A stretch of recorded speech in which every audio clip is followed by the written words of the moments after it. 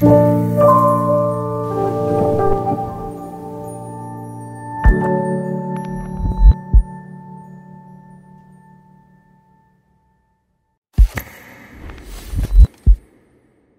on peut constater un retour, enfin un retour. Oui, si, si, un retour sur euh, l'argentique. Et pas uniquement dans les jeunes générations, aussi dans les moyennes générations, dans les vieilles générations.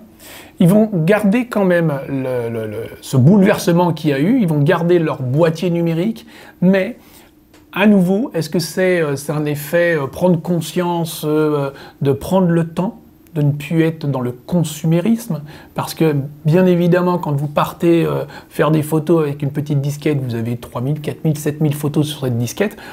Avec une pellicule, vous en avez que 36. Donc il faut faire attention à ce que vous allez faire. Il ne faut pas gâcher le film. Et ça, chez les jeunes, mais c'est pas ne pas gâcher dans, dans un sens économique, c'est ne pas gâcher philosophiquement parlant. C'est euh, s'arrêter, regarder les nuages euh, se déplacer. C'est euh, toucher, toucher une fleur et sentir toutes ces choses-là. C'est plus de l'ordre de la philosophie que de l'économie, puisque l'argentique coûte plus cher que le numérique. C'est ce qui a fait le, bouleversement dans les années 90, quand le numérique est arrivé. Ben, je ne vais pas dire 100%, mais pas loin des photographes, professionnels et amateurs, sont passés au numérique que je conçois et je respecte tout à fait, puisque c'était pour des raisons économiques. Un magazine, un journal, un photographe, quand il devait payer les pellicules, les développements, les tirages de lecture, après des tirages euh, un petit peu plus travaillés, ça représentait une somme.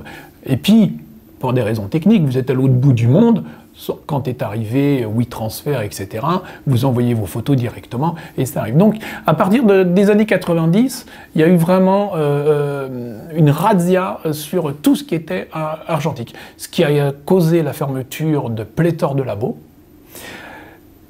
Mais à l'inverse, les labos qui sont restés, et les, les, photographes et les agences et les galeries et les collectionneurs et les musées, qui eux sont restés en argentique, on a eu la cerise sur le gâteau, la crème de la crème en fin de compte, dans les tirages. On n'avait plus de tirage de presse.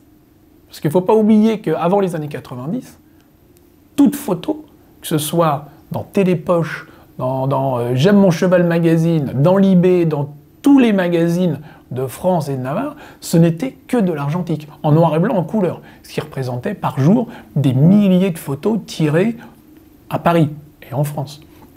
Donc il y a eu cette, cette chute de, de tout le monde euh, technique et professionnel argentique. Et à partir d'il y a une quinzaine d'années à peu près, euh, euh, là c'est une jeune génération qui s'est remis à faire de l'argentique, avec la sortie de nouveaux boîtiers un petit peu ludiques, comme des Lomo, des Diana où c'était plus pour s'amuser, mais ils ont découvert l'état d'esprit de faire des photos en argentique avec que 36 poses, à prendre son temps, à ne pas se dire, bah tiens, il y a une bouteille euh, en bas, bah, je l'enlèverai avec Photoshop.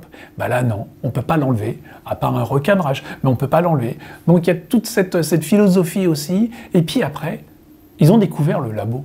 Alors, il y avait des clubs photos, il y avait des écoles photos, il y avait euh, des, des MJC à l'époque, et nous, labo professionnels, on a eu des demandes de la part de, jeunes qui voulaient faire des stages pour découvrir et aller au-delà, aller plus loin de la prise de vue, faire leur propre tirage.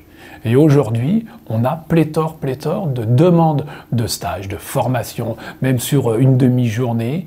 Euh, euh, là, avec le salon de la photo, par exemple, il y a eu deux groupes de 20 personnes qui sont venus pour faire une visite et comprendre ce qu'était, ce sont des des amateurs un petit peu confirmés, mais comprendre ce qu'était le monde du tirage, la chambre noire, et intervenir.